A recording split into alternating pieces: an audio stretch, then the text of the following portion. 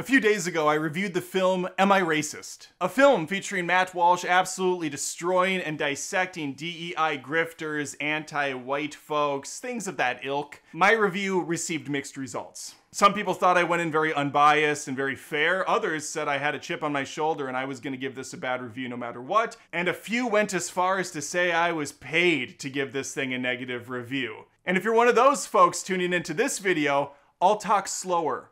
Uh, but this is the internet after all, where we have to double dip if anything has any sort of traction. So here we are with a spoiler video.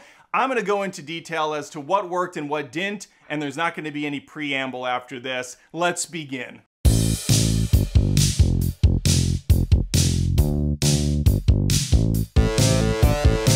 I'd first like to start with about five minutes of preamble. I'm joking, I'm joking. Just subscribe to the channel if you like what I'm doing here, if you want to hear about movie reviews, commentary, things of that nature. That's what I do, movie reviews. All right, this film, Am I Racist, isn't so much Matt Walsh trying to determine if he is or isn't.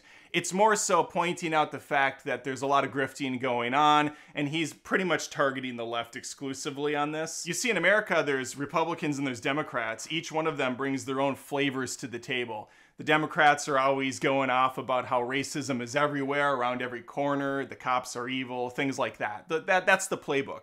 And on the right, it's illegal immigrants are coming in and they're killing our women and you know doing unspeakable acts to the children taking every job on the planet.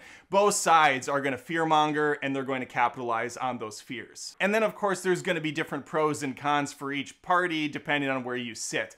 For this though we're talking about exclusively DEI hires, anti racism movements, wokeism, things that Matt Walsh really wants to tackle. And to tackle them, he's going to go undercover to these different meetings, these different paid services that people are putting on, and he's going to pretend that he's aloof that he's just there to learn. And oftentimes, he lets these folks kind of hang themselves by their own words. In between the quasi documentary, quasi mockumentary sections, there's also going to be these small skits that he does. Now, in these portions, I really didn't find them very funny. The film opens with him at a small town cafe. A black woman takes his order and asks how he would like his coffee.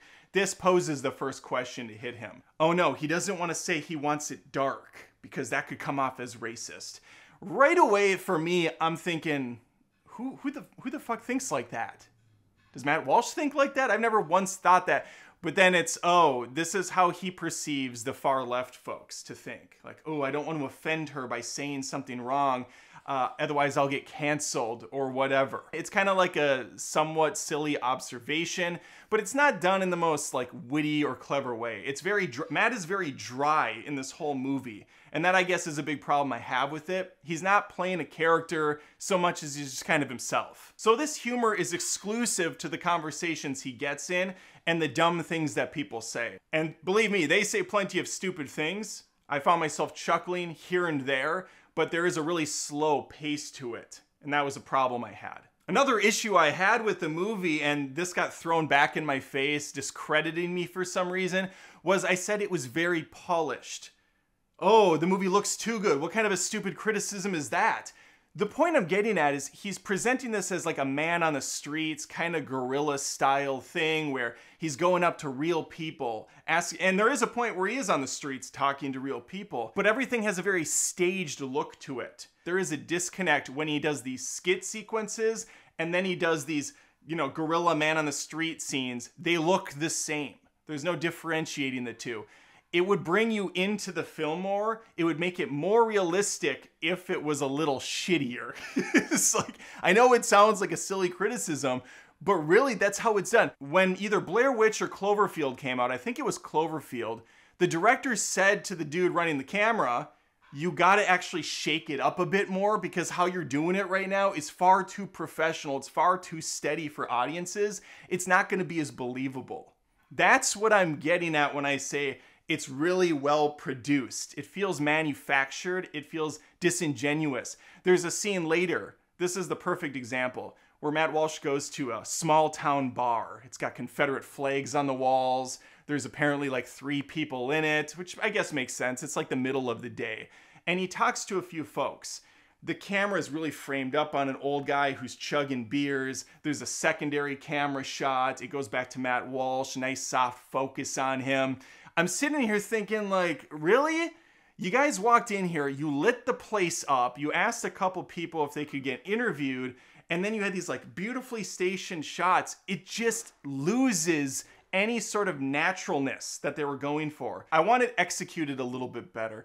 Also, as far as the bias thing goes, which is an absolute thing here, Matt Walsh went to one bar and interviewed a couple people and suddenly, oh, look, like all these guys at dive bars are really well adjusted individuals. They just want peace and harmony, black and white to come together like a cookie in Seinfeld. I'm sorry, but that's an incredibly small view. I'm currently living in South Carolina. I could take my camera down to a bunch of different bars over here, and the stuff that's gonna come out with the people's mouths there, gonna be a tad different than the wise, sage biker dude that's got nothing but great things to say about his fellow black man. The film is very one note as far as the humor goes as well. It's Walsh going to a place, he sits into the conversation. He asks a couple basic questions to kind of like derail people or to just show how ridiculous their seminars are, which is fair, it's funny. But then we just do this again and again and again. There's no like other creative angle or lens to watch this through. It's just wash, rinse, repeat,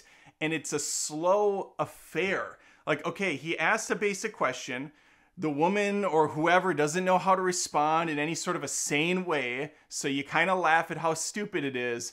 But then there's like a pause, an awkward silence, and then we might get one or two follow up laughs, followed by a bunch of like filler shit until we get to the next section of the movie where he's once again in another room doing the same shtick to someone else.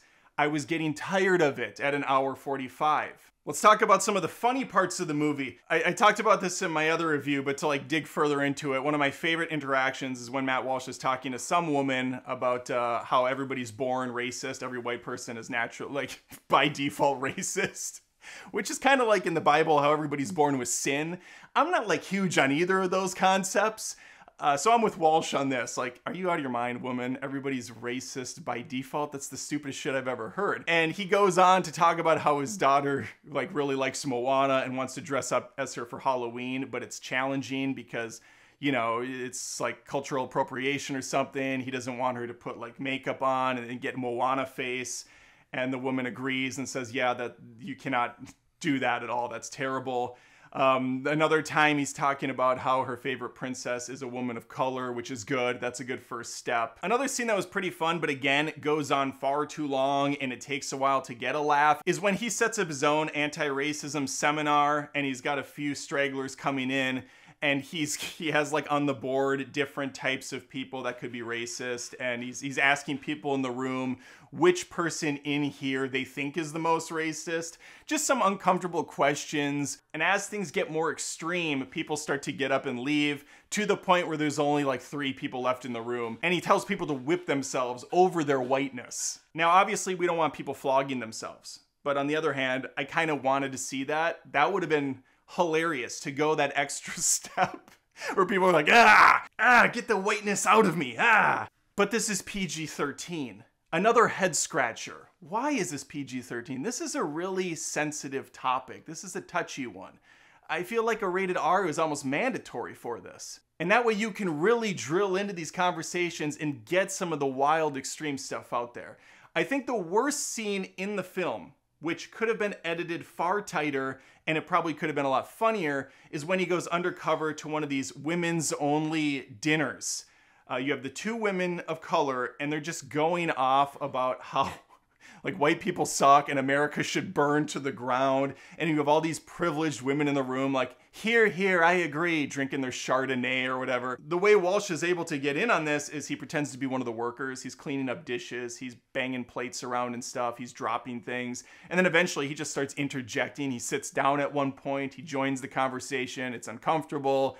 And there is some laughs to be found for sure. But again, this is just a slow moving section and there's not really a ton of payoff in any of these. They're just kind of like, up, oh, gotcha. That was that was good. That was clever. Where are we going though? What, what's the punchline of these scenes? And it never hits. It just moves on to the next thing. Another scene where an R rating could have absolutely elevated the humor and taken this to a much more exciting place when they go over the Jesse Smollett attack from 2019. I probably butchered his name. I don't I don't I honestly didn't follow that at all. I didn't care enough, but that was five or six years ago. Also a little odd to focus on that event and make it kind of like a spectacle. Anyway, he does a recreation where the story keeps changing. So when Matt Walsh's version is playing out and he gets a sub from Subway, he's getting attacked, then suddenly he's tied up, but then not. It wasn't over the top enough. He should have gone extreme with it, like they're kicking the living shit out of him. He's like spitting up blood. You need to elevate the humor. That's where I look at something like South Park, who does parody far better than this did. One of my favorite South Park episodes where they take things to such an absurd level